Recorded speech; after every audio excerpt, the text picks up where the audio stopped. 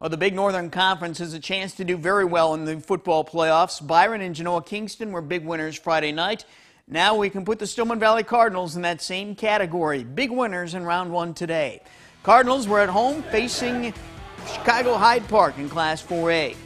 Hyde Park came out throwing the football, but this pass on the Thunderbirds' first possession is picked.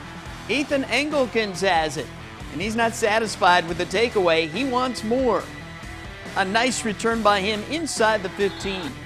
Didn't take the Cardinals long to find the end zone. Gage Henderson puts their first points on the board with that touchdown run. On the Cards' next possession, Porter Need sweeps around the near side. They'll avoid one man and then drive forward for more yardage.